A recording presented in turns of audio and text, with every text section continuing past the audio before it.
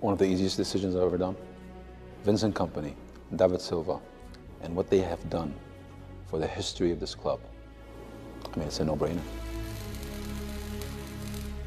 Being a city changed my life. I'm proud of what we did together, and I feel emotional that it's being recognized like this. My time at City was, was special, um, and my connection with people in Manchester and Manchester uh, itself was quite unique as well.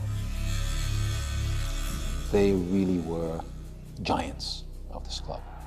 And uh, I think no matter what era, in 10 years or 20, 30, 50, 100 years, I think one can always look back at this era as a very special era in the history of this club.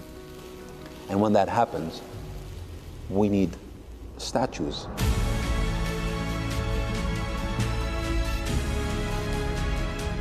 When I first saw the statue, I felt good.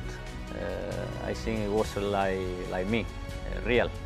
This statue really represents the way I like to play. I love the pose the sculptor has chosen. It really me, remind me all of those times when I was in, on the pitch playing, you know, and that moment when I had to find the, the, the, the striker.